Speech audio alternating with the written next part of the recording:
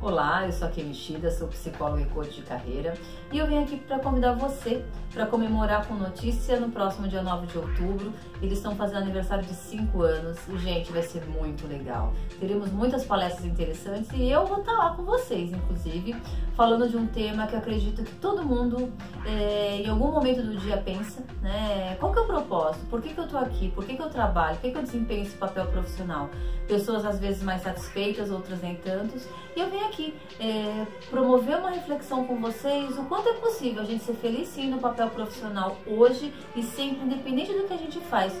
Conto com vocês, a presença de vocês lá na semana que vem. Beijos, obrigada, gratidão aqui.